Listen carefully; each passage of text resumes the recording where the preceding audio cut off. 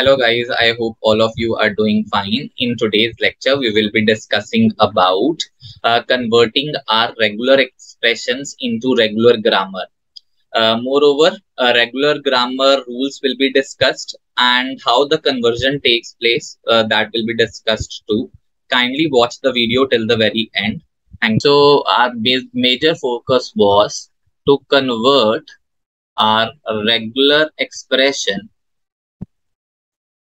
to regular grammar.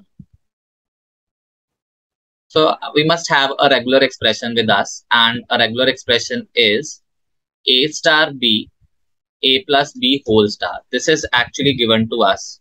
This is a regular expression. Now I will be discussing about tuples of regular grammar also. So how they are actually constructed. So firstly we will be having uh, what is the first step so how it is supposed to be done? Firstly, convert your regular expression to finite automata.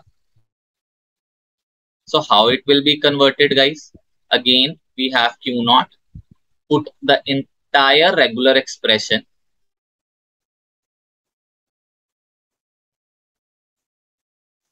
QF. So since there is a concatenation operation, we will write Q naught. A star is given Q1. We have got B and Q2. We have got A plus B whole star. So from the understanding part, it means initial state would have Q, Q naught and will have all number of A's. A single B is, is encountered and eventually uh, your a comma b any number of a's and b's are encountered. So eventually guys this is your finite automata. I can clearly say this is your finite automata. So how will you convert it to regular grammar? So we had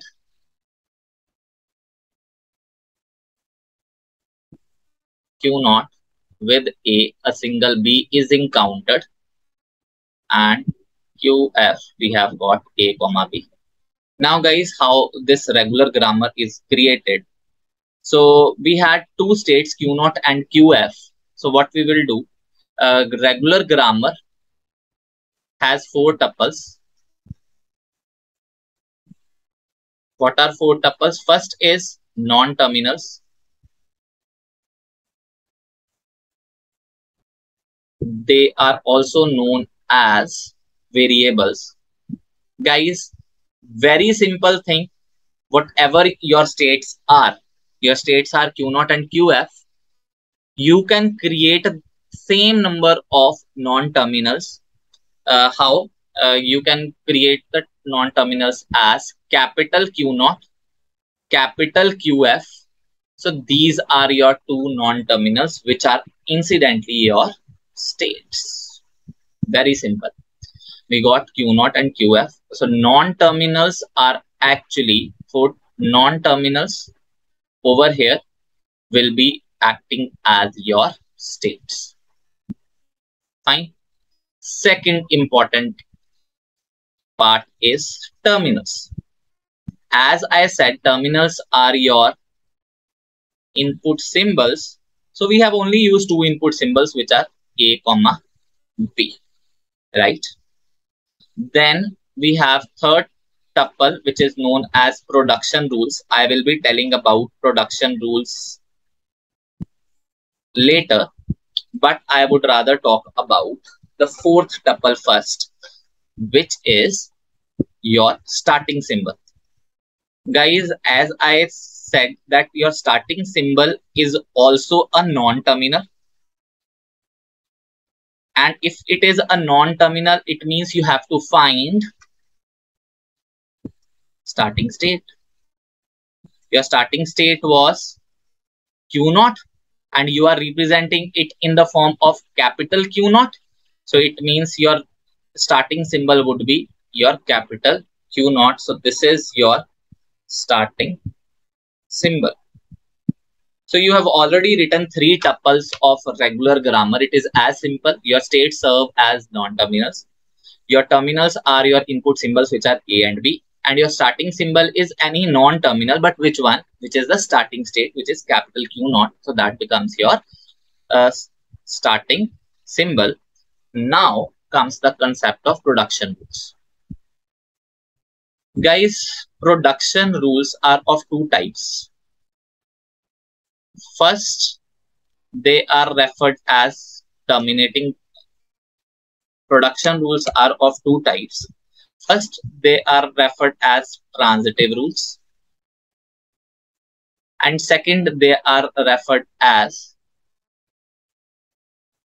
terminating rules. Now, what is transitive rule and what is uh, terminating rules? So let me tell you. Uh, since uh, your automata was Q naught given A and given B it goes to QF. A comma B. Right? So what are transitive rules? It means the transitions which are happening. So transitions are happening in this way that uh, your Q naught. So what is the syntax of transitive rules? The syntax of transitive rule is any non-terminal given any terminal, it goes to any non-terminal. Means this is the syntax for your transitive rule. So uh, non-terminal given terminal, it is giving any non-terminal. So it means just see what is the transition which is happening. Basically transitions, what is transitioning which is happening? Q naught given A, it goes to Q naught. Q naught, uh, it is going to Q naught. Q naught given B, it goes to QF. QF given A, it goes to itself and QF given B, it goes to QF. So guys, I just have to write it in this syntax manner. Means I will write Q naught, that is my non-terminal Q naught. When A is given to it, it goes to Q naught. So it means I will be just uh, writing in this particular syntax. I would write Q naught, right? When it is given A, it is going to Q naught. So the, see, I have followed this syntax. How? This is non-terminal. This is terminal. This is non-terminal. Right? Similarly, uh, we have given Q naught, given B, it goes to QF. QF given A, it is going to QF. So QF given B, it is going to QF. So guys, I'm following this syntax only. Just see, I have followed this syntax over here. This is your non-terminal.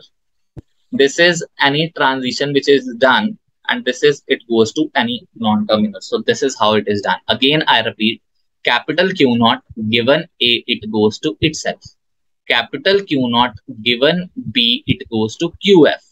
Capital QF given A, it goes to QF and capital QF given B, it goes to QF.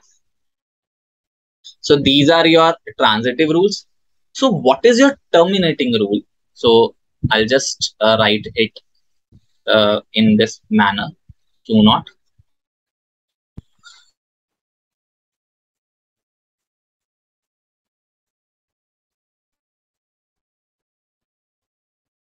So what is terminating loop?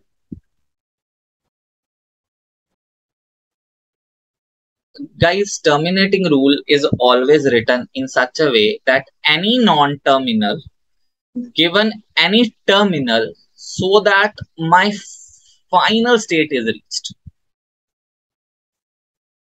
so you tell me how your final state is reached obviously when this q naught is given b when q naught is given b what state you are reaching you are reaching final state Yes or no?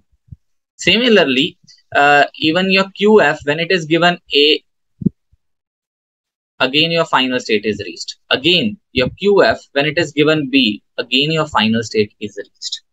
You getting my point? So similarly, I just have to write it in that syntax that any non-terminal, which is maybe Q naught, given any terminal, let's say it is, if it is given B, my final state is reached.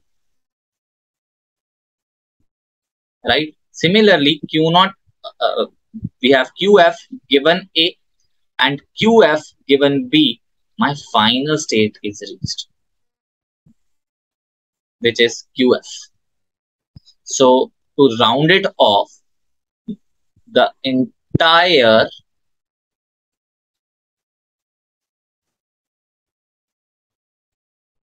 entire uh, rules would be the transitive rules are q naught given a it goes to q naught. Q naught given b it goes to qf qf given a it goes to qf and qf given b it goes to qf these all are transitives similarly your terminating rules means you just need to reach final states means your QF, uh, you have got your Q naught given B, your final state is reached, and QF is given A, your final state is reached, and QF when it is given B, your final state is reached. So this is your entire grammar where you had non-terminals as Q naught and QF. Why? These because these were the states. So you just represent them in cap capital letters. Second, your A and B are your terminals. Third, production rules you have already written. And what is your starting state? Starting state is Q naught. So this is your regular graph. Hopefully, uh, this is clear to all. So if you have any sort of doubt, uh, kindly post your doubt in the comment section and kindly like, share and subscribe. Thank you very, very much.